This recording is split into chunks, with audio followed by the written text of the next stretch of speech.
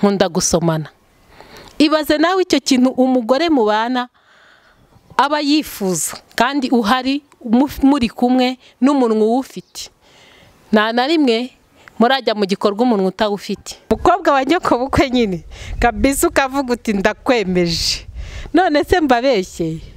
Hari abadamu benshi banganiriza bakambwira ibibazo byabo.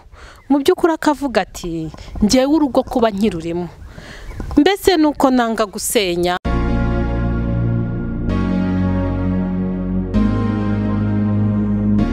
Abapapa rero n'abasore bakuze barimo kwitegura gushinga ingo nabo bajya bagira ibibazo byo gucika intege mu gutera akabariro.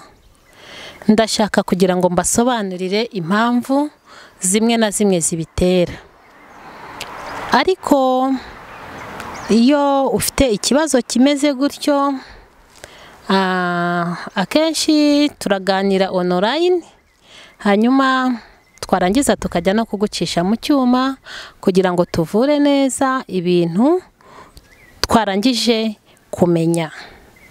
Akenshi rero ibyo ku bagabo bishobora guterwa n'imisemburo mikeya icyo ni kimwe umuntu aba yifitemo ishobora kubitera.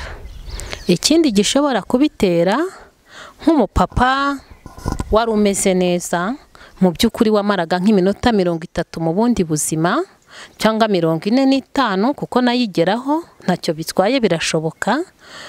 Uyu munsi rero akaba yarahuye n'ikibazo agahita acika intege ntamenye uko byagenze ntamenye icyabiteye. Hari igihe akenshi biterwa n'inzoka ya mibe inzoka ya mibe iyo imaze kugera ku muntu ikakubamo akarande kabisa ikaza ikakwigarurira ikakugira koronike ni ukuvuga ngo ucika intege hanyuma gutera akabariro ntibibashe kuba bikemeye. Ikindi hari n'inzoka ya tirikomonansi iriya nzoka na yo ni mbi cyane iyo igeze ku bagabo ni ukuri iguca intege ku buryo nta kintu na kimwe uba ugishoboye gukora. Rero ni mu ngane hanyuma muze dufatanyirize hamwe gushaka ibisubizo by'ibibazo byanyu. Dufite imiti myiza ifasha abapapa myiza cyane.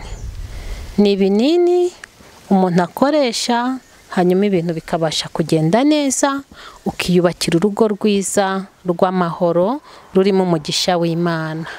Nibyo nahoze mbabwira mu kindi kiganiro. Ni ukuvuga ngo uburiri bwiza ni inkingi ya mwamba. Ni inkingi ya mwamba. Ni inkingi ya mwamba inkingi ya mwamba narayibasobanuriye ubushize mu kiganiro cyatambutse nababwiye ko ari inkingi kera bubakaga mu nzu za kinyarwanda ikaba irimo hagati ihagaze akaba ari rwo rwari nk'urufatiro rw'inzu. Iyo nkingi rero iyo ihirimye iyo yahirimaga n'inzu yahitaga ihirima. Ni ukuvuga ngo rero iyo ibintu bitari kugenda neza mu buriri ntabwo ari ku badamu gusa no ku bagabo iyo ibintu bitarimo kugenda neza mu buriri urugo ruba rwasenyutse. Ni ukuvuga ngo kiriya ni igishyitsi ni igishyitsi gikomeye cy'ifatizo gishamikiyeho ayandi mashami gishamikiyeho gahunda zose z'ingenzi z'urugo. Ni muze rero bagabo muze tubahereze imiti hanyuma mubashe gutunganira abadamu banyu. Umukobwa wa nyokobukwe nyine kabisa ukavuga uti ndakwemeje. None se mbabeshye. Hari abadamu benshi banganiriza bakambwira ibibazo byabo. Mu by'ukuri akavuga ati ngewe urugo kuba nkirurimo.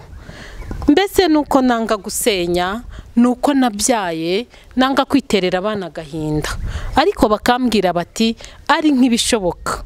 Ati pe ati naruvamo nkagenda ati kuko kuba mu rugo utajya wishimira na rimwe mu buriri. Ati nta kigenda.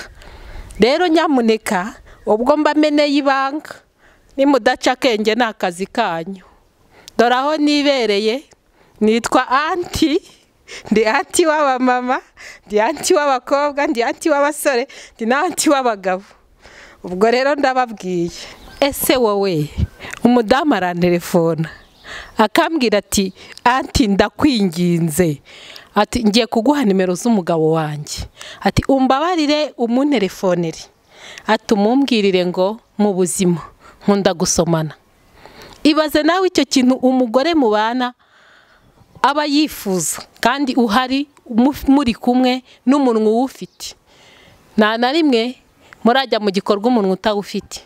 Ariko umudamu akambwira ati nkunda gusomana mu buzima. Ariko umugabo wanjye ntabyo akozwa.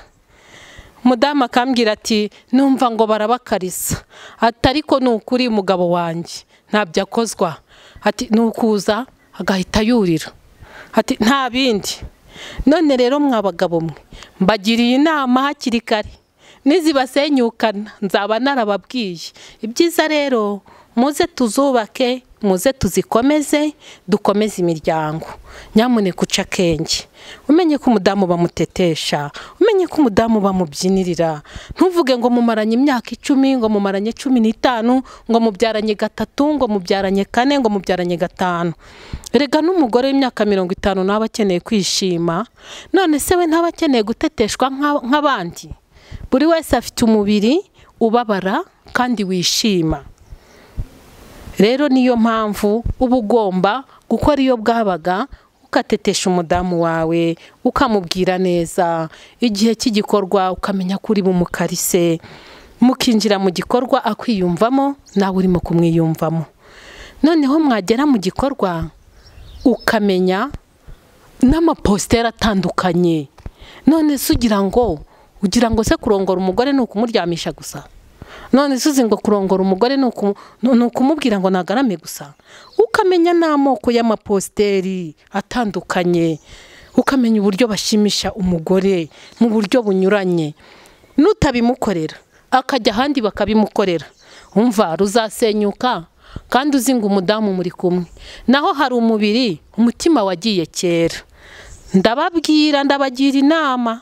Kuko abadamu nibo nabanjije guhura nabo kenshi n'abakobwa none bibaye ngombwa kongera no ku rwego rw'abagabo kuko komanteri zingeraho ni ngewe uzi amabanga menshi y'ingo zanyu. Ndababuriye rero nitwa anti. Oke noneho rero ndabaha nimero zanjye aderese mwamboneraho ni zeru karindwi umunani mirongo ine n'icyenda mirongo irindwi na gatandatu gatatu gatatu icyenda. Ndasubiramo nyamuneka. Ni zeru karindwi umunani mirongo ine n'icyenda mirongo irindwi na gatandatu gatatu gatatu icyenda. Cyangwa se zeru karindwi mirongo cyenda mirongo itanu n'umunani mirongo ine n'umunani mirongo cyenda n'umunani. Zeru karindwi mirongo cyenda mirongo cyenda mirongo itanu n'umunani mirongo ine n'umunani mirongo cyenda n'umunani. Nyamuneka kanda sabusikarayibu ukurikirane ibiganiro byanjye uko bwije n'uko bukeye. Mfite ibiganiro byiza byubaka imiryango. Uyu munsi hari ingo nyinshi zari zarasenyutse. Uyu munsi hari ingo nyinshi zari zubakiye ku manegeka. Ariko ndakubwiza ukuri bahawe ibiganiro nabahaye ibiganiro bafashe inyigisho abafata imiti barayinyweye kandi imiti irakora ibintu bigenda neza. Uyu munsi imiryango myinshi irimo iraseka. Hari umumama wahoze anerefona arambwira ati iwacu dufite fete. Ati twatumiye abantu benshi cyane batandukanye. Atari ko ni we mushyitsi mukuru tuzaba dufite kuko imana yaduhaye anti twungutse anti mushyashya twungutse anti wadufashije kubaka urugo rwacu twungutse anti wadufashije gukomeza umuryango wacu. Sawa rero ni akagaruka bagabo beza bayi naho ubutaha turi kumwe. Imana ibarinde kandi imana ibaha umugisha. Mbifurije ingo nziza zirimo amahoro n'umugisha w'imana. Bayi